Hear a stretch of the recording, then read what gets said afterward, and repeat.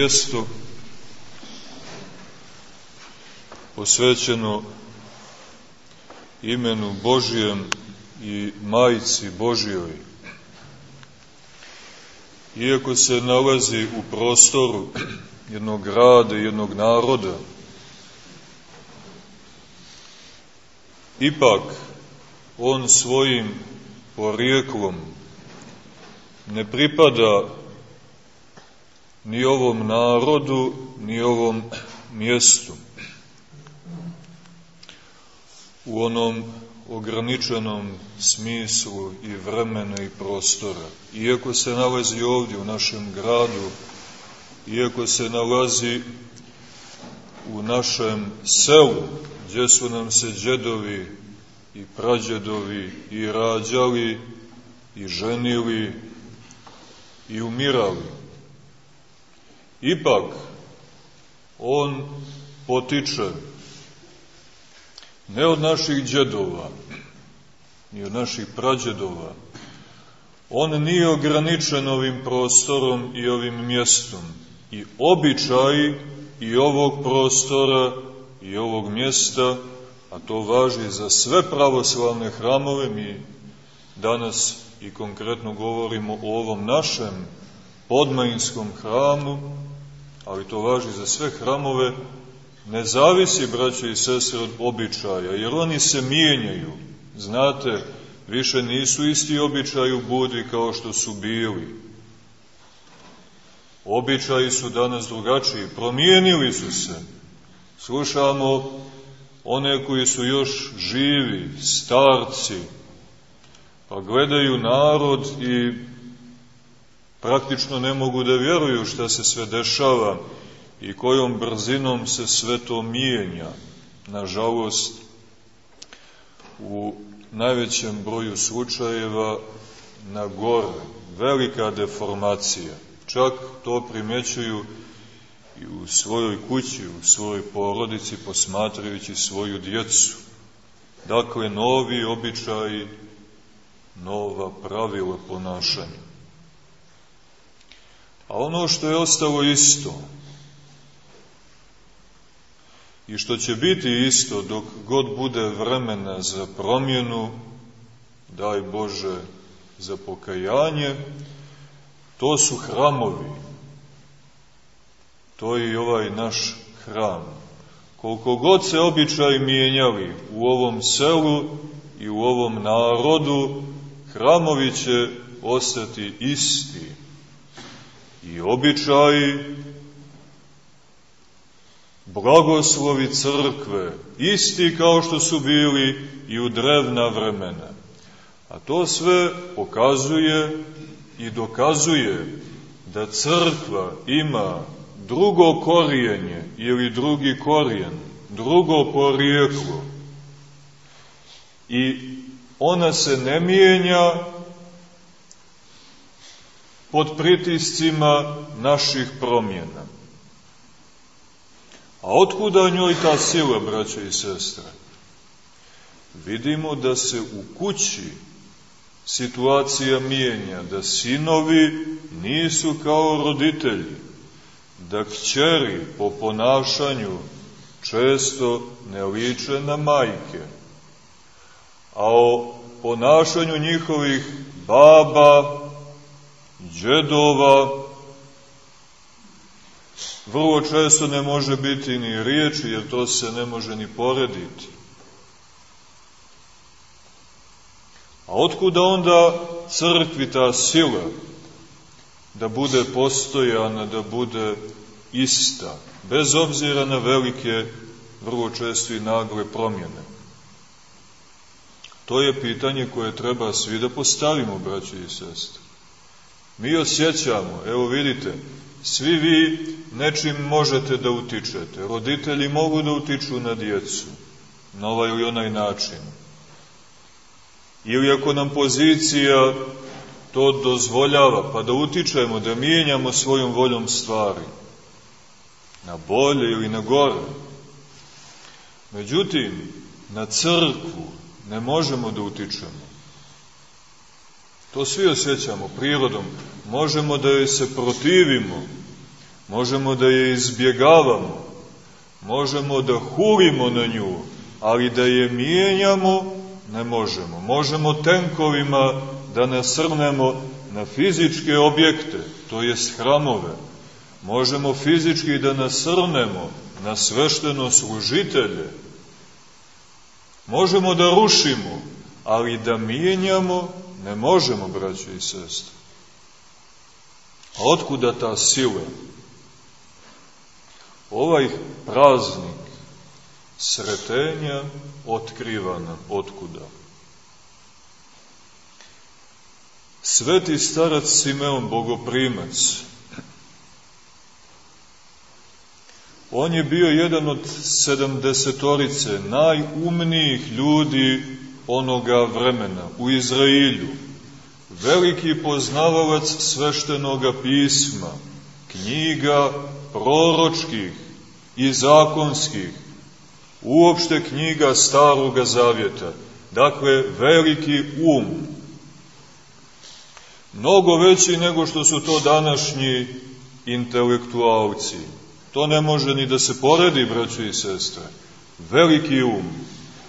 I on je bio jedan od sedamdesetorice prevodilaca koji je angažovao egipatski car Ptolomej da mu prevedu sa jevrajskog na grčki te spise, jer je bio, kako predanje kaže, veliki ljubitelj knjiga, osnivač čuvene Aleksandrijske biblioteke. I za taj posao bili su angažovani vrhunski poznavoci i oni koji će biti kadri da prevedu te sveštene i za prevod ne lake spise, Simeon je bio jedan od njih, čisto da znamo da nije bio neki starčić koji je to prosto živio, hodao u hramu, ulazio i eto nabasao na živoga Boga. Ne, braće i sestre, mnogo dublja pozadina, mnogo dublja. Da sad ne govorimo o pojedinostima, a bilo bi dobro da pretražite malo i da se upoznate s tom pričom kako su oni prevodili, kako se sve to odigravalo, vrlo zanimljivo. Kako su bili odvojeni, prevodili, pa je sve to bilo nekako na čudesan način usaglašeno. I sa tog prevoda sedamdesetorice mi, Sloveni, imamo prevod staroga zavjeta. Tako da smo u srodstvu sa Simeonom i po tom i na taj način. I on prevodeći odlomak iz proroka Isaije, u kome piše i gle, djevojka će začeti i roditi sina. Njemu ne bi jasno kako to djevojka, a djevojka je djeva, braćo i sese, nećemo zvati, pogotovo danas, sve žene, pa makar one bile i mlade djevojkama, jer djevojka je djeva. Nažalost, danas sve manje djevojaka, a sve više bludnica. I on kaže u sebi, kako to može djevojka da začne i rodi sina? To ne može biti. I zaista, do tada i nije bivalo. I dopusti sebi da prepravi i napiše žena će roditi, žena će začeti i roditi sina. I u tom trenutku, čim je to pomislio, i krenuo rukom da prepravlja, angel se javi, zaustavi ga i reče, ne diraj to. Tako će biti, tako je napisano, tako je Duh Sveti objavio prorocima, tako je Isaija zapisao, tako će i biti. A ti bit ćeš živ dok ne vidiš ispunjenje ovih riječi i ovoga proroštva, dok ne vidiš Hrista gospodnjega. I zaista, braćo i sestre, Sveti Simeon Bogoprimac je živio po predanju 360 godina.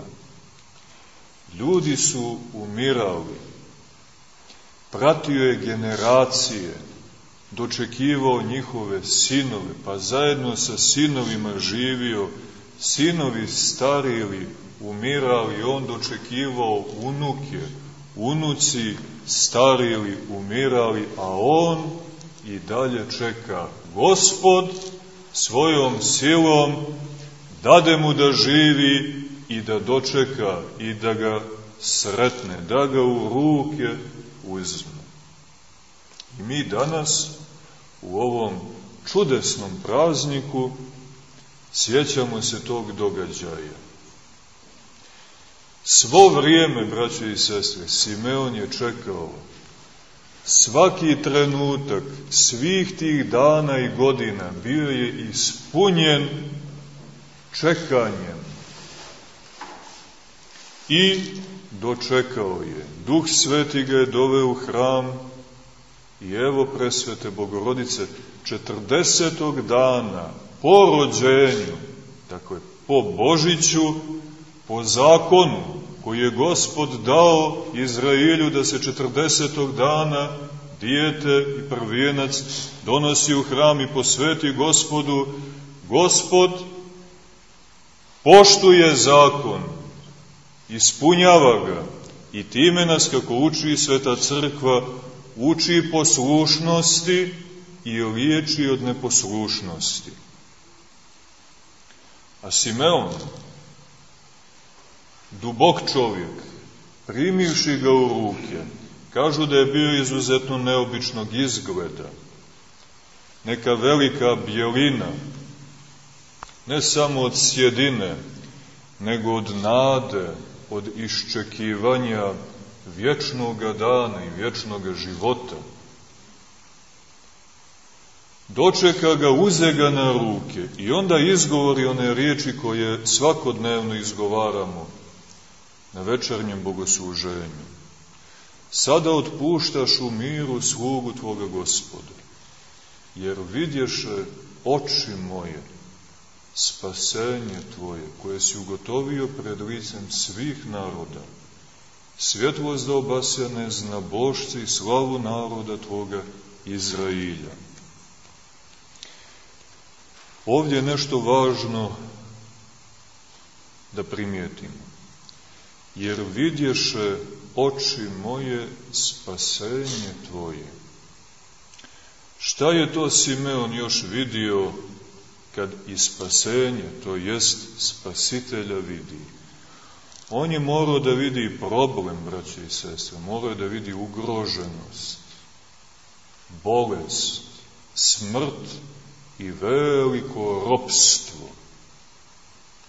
Od koga, vidite, to je mnogo važno, od koga može da nas oslobodi samo Sin Boži i Sin Djeve, onaj koji neće imati korijen u našoj prirodi, koga ni jedan čovjek u bedrima ne nosi i u sjemenu. To je mnogo važno. Vidite, ovaj praznik želi to da nam poruči, to da znamo i tu razliku da pravimo. Jer je velika razlika. Onaj koga Simeon drži, braći i sest, i u kome spasenje vidi, on nije od čovječijeg sjemena, on nije od čovjeka, jer u čovjeku, to je znao Simeon, nema spasenja. On je čekao čovjeka koji će oca imati na nebesima, kome će Bog biti otac a koji će prirodu ljudsku, našu prirodu, uzeti od djeve, ne od žene, nego od djeve, i time postati novi čovjek, novi Adam, dati nam novi korijen, ili, kako ga naziva sveti otac Grigorije Palama, postati obnovitelj prirode,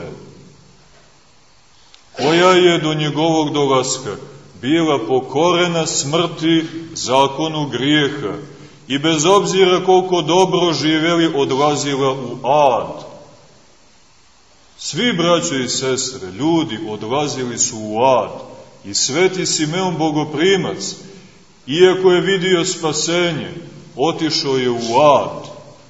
Naravno, sa nadom na vaskrsenje, na oslobođenje, jer je vidio spasitelja i zaronio sa vjerom da će ga gospod podići.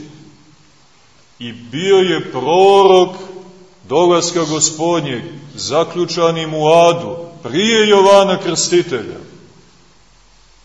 Jovan je rekao, evo ga, samo što nije stigao, a Simeon je objavio da dolazi, da je tu, da ga je vidio, da ga je dotakao. I od tog trenutka u adu biva drugačije. Ono što je za nas danas važno jeste da prepoznamo isti problem i naše vrijeme ima isti problem ukoliko ne drži spasitelja u rukama, ukoliko ga ne srijeće, ukoliko ga ne iščekuje, ukoliko ga ne vidi, ne sagledava kao prisutnog u crkvi njegovoj, u crkvi apostolskoj, u crkvi pravoslavnoj. Mi, braćo i sestre, ne možemo da riješimo, bukvalno, ni jedan jedini problem bez njega. Mi ne možemo da riješimo glavni problem bez njega. Postaje dosadno, postaje zamorno, ubitačno posmatrati sve te pokušaje, promjene, revolucije, evolucije, gluposti i besmisla. Potrage za spasiteljima, a svi oni nose bolesnu prirodu, svi su oni od bolesnog oca, od bolesnog džeda, svi oni rađaju bolesnike, to je sve bolesno. Jer je palo, priroda je bolesna, braći i sest. Svi vi ovdje i mi zajedno s vama i svi ljudi, to je sve bolesno. To se, to se začinje bolesno, živi bolesno, umire bolesno i daje bolesno potomstvo. Takav je, braćo i sestre, zakon grijeha. Duboko smo ugroženi. I Simeon, znajući to dobro, on je znao problem, to su veliki ljudi, On je znao taj problem, zato se on tako raduje, jer vidi spasenje, ne samo svoje, nego vidi svjetlost koja obasjava lice svih onih koji su u tami i koji žude za svjetlošću, za istinom, za pravdom, za smislom, za životom vječnim, za pravdom vječnom. Obradovao se kao prorok duhom svetim vidio je i naša lica. To je veliko viđenje svetog Simeona, ne bi ga crkva istakla i davala nam svakog dana da ponavljamo te riječi, jer nas je u duhovnom viđenju sve vidio, obasjane tom svjetlošću. Svakoga koji se spasava imenom Božim i u zajednici sa njim, vidio je Simeon doživio i njegova radost je bila velika, vaseljenska radost. Ali, braćo i sestre, on se radovao.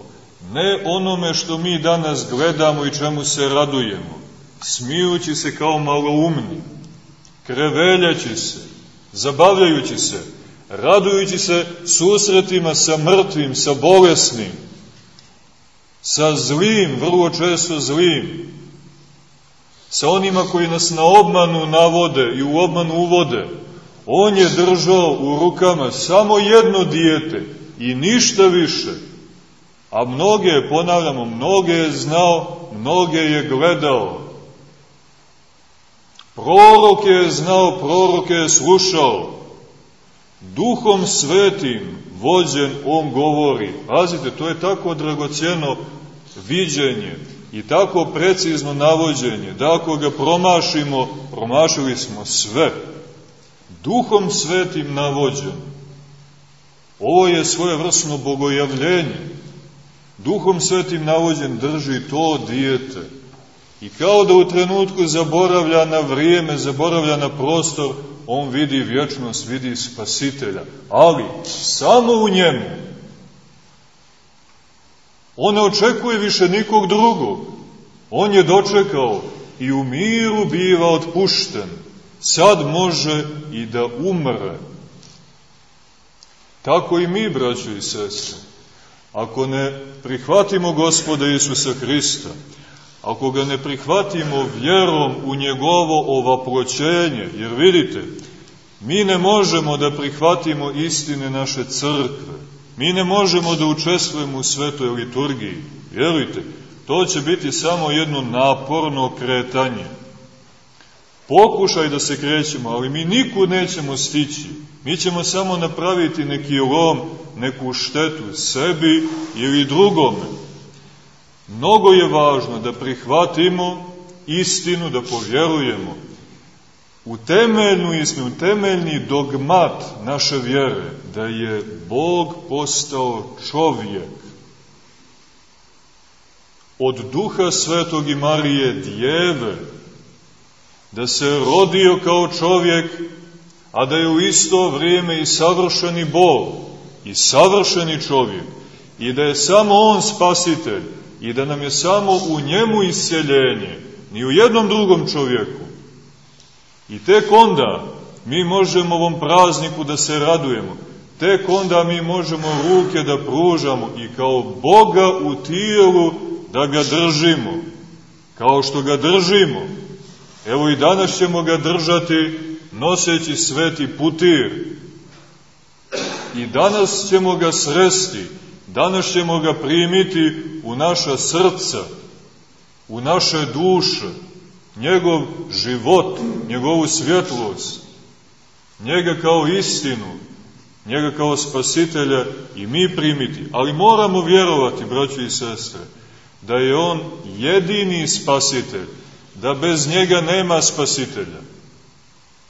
A da njega, to je mnogo važno, on to traži, možemo naći i uvijek ga imamo u našoj crkvi i u našoj svetoj i božanstvenoj liturgiji. Oni koji pokušavaju da riješe svoje probleme, kao što ljekar pokušava da nekako zaustavi kancer koji je u razvoju, kao što medicina pokušava da nađe lijek na razne načine, eksperimentišući da te ćelije, zločudne ćelije, zaustavi umrtvi, pa nikako da se snađu, jer priroda emituje druge, priroda je bolesna.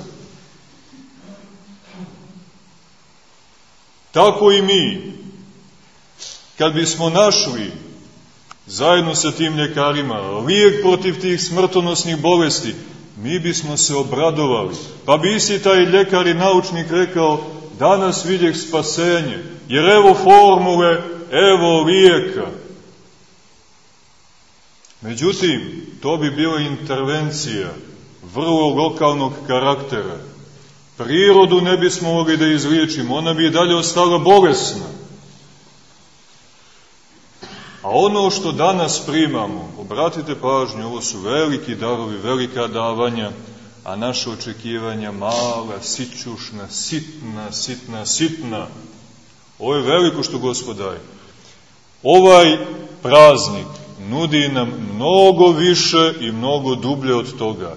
Nudi nam novu mogućnost, novi temelj, novi korijen, nudi apsolutnu obnovu. Sve da bude novo, sve novo, braćo i sestre, i to novo da bude uvijek zdravo, da ne bude pričasno grijehu i smrti, i da đavo tu ne može da vlada. Ovo tijelo koje nam se nudi, ono je novi čokot, i ono je spasenje za sve one, pazite, Sveti Grigorije Palama pravi tu razliku, priroda obnovljena u Hristu Isusu, ona je ponuđena svakom čovjeku i ljudskoj prirodi uopšte. Međutim, mogu da je prime samo oni koji kroz crkvu, kroz svete tajne, kako sveti Grigorije podvlači krštenja, miropomazanja i svetoga pričešća, prilaze sa čistom vjerom. I ta nova priroda izliva se, uliva se u oboljelu prirodu onih koji crkvi pristupaju sa vjerom i pokajanjem. I naša priroda, do tada oboljela, duboko oboljela, bez lijeka i bez spasenja, evo srijeće spasitelja. Jer vidješe oči moje spasenje tvoje, koje si ugotovio pred licem svih naroda ugotovljen lijek, braćo i sestre. Evo čaša koja će da nas izliječi. Evo svetoga putira, evo svetoga pričešća. Da nas liječi od smrti, od grijeha i od demona da nas štiti. A puna je i prepuna i u ovom hramu i u svim hramovima. Međutim, mi ne čekamo Hrista Mi, kako je pjevo sveti vladika Nikolaj, izgleda čekamo bolje vrijeme. A šta će ti vrijeme donijeti sem bolest? Šta će ti dani donijeti sem bolesnike? Šta sve ovo što smo regrutovali, ovo pametno, ovo mlado, ovo spremno za promjene, šta će ti to donijeti? Bolest. U grijehu ga zače majka njegova i grijeh će da živi u njemu, da se razvija, da se emituje i da ruši. Sve je gore i gore, iz generacije u generaciju, sve gore i gore. Grijeh se progresivno uvećava. Jedini koji može da nas izbavi, da izazove suštinske promjene, jeste onaj koga Simeon danas prima srijeće i nama radost prenosi da ćemo ga dočekati. On ga je primio.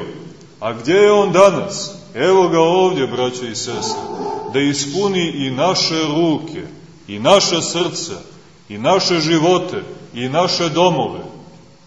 Ukoliko ga dočekamo u pravoslavnoj pobožnosti, u liturgijskoj pobožnosti, u saglasu sa svetim ocima, i svetim predsima, sa svetim apostolima, sa svetim predanjem naše crkve, on će donijeti život i spasenje, punoću života.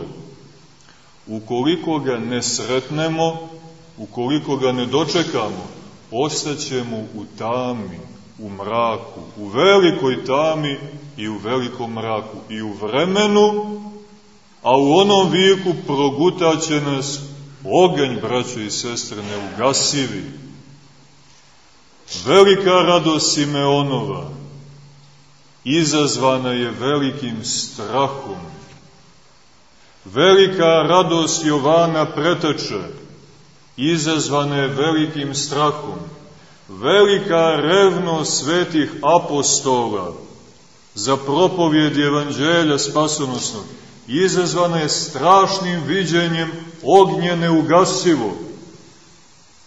Veliki propovjednici, veliki učitelji naše crkve, veliki naš Sava sveti i čitav njegov podvig bili su motivisani i ljubavlju prema bližnjima, naravno prema Bogu, ali i strahom da ne uđu u prostor vječne muke, a znao je, ukoliko se narod ne sretne i ne dočeka gospoda Isusa Hrista, kako? Onako kako su i sveti Simeon i sveti apostoli i svi naši svetitelji dočekivali, kroz liturgiju, kroz pričašće, kroz život vrlinski i podvižnički, da će propasti. A ko će tu propast da izazove? Nama niko nije potreban, braće i sestre. Mi nemamo neprijatelja, znate. Vladika Nikolaj kaže da su neprijatelji surovi prijatelji. Mi imamo neprijatelja u nama samima. Naša priroda, zamislite kakva je tu ugroženost, je naš neprijatelj.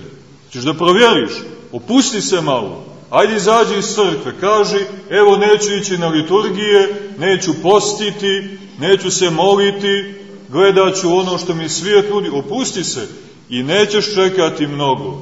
Za svega mjesec dana ima da pobjesniš. A ako si ušao u prostor crkve, pričešćivao se, pa napraviš pauzu, bit će potrebno mnogo manje od mjesec dana, jer ti procesi su mnogo brzi. Tri dana nepažnje izaziva velike promjene na gore, jer je priroda gladna, pala priroda. U nama je neprijatelj. Jedini ko može to da promijeni jeste Hristos Gospod, jeste crkva pravoslavna. Da se presadimo, da se nakalemimo na njega, da On postane naš korijen, naš život, naš smisao. A da bi do toga došlo, mi moramo iščupati gordost iz sebe. Jer Hristos mora da postane naša duša. Ne živim više ja, kaže veliki apostol Pavle. Hristos živi u meni. A mi, braćo i sestre, ne živimo tako. Mi poštojemo Hrista na ovaj ili onaj način. Ima tih raznih oblika pobožnosti, kao što ima raznih haljina i odežbi. Ali Hristos treba da postane naš život, novi korijen, suština našega bića. E to je ovaj praznik otkrio, to ovaj praznik nudi, na to smo mi pozvani. Na mnogo dublju pobožnost i mnogo bolji odnos prema crkvi, prema liturgiji, prema onome koga evo Simeon danas prima i kome se beskrajno raduje. Ajmo i mi, braćo i sestre, uz Božju pomoć, uz pomoć Duha Svetoga, Duh Sveti će nas tu i kako pomoći i naučiti, da dočekamo gospoda, kao jedinog spasitelja, izgubimo nadu u knezove zemaljske, u moći naše prirode, ona je beživotna, ona je bolesna, nego se sjedinimo sa gospodom našim, evo kako nas crkva uči, evo i danas ćemo demonstrirati kako to izgleda ukoliko nije bilo dovoljno ono što smo do danas činjeli i gledali, ovom liturgijom. Mi demonstriramo ovu istinu, potvrđujemo da je zaista Gospod živ, da je prisutan i ukoliko ima vjere u nama, da isceljuje, da daje novi život, život vječni i blaženi. Neka bi ga i mi dočekali danas, neka bi živjeli sa njim, on u nama i mi u njemu i jedni sa drugim u takvoj vjeri, da gledamo jedni drugi kao udove jednoga tijela, te da bismo i u Carstvu nebeskom, a ovdje ga okusivši i stekavši, mogli zajedno da slavimo sa svetim Simeonom, zajedno da se radujemo, zajedno da se ozrcavamo i pjevamo sve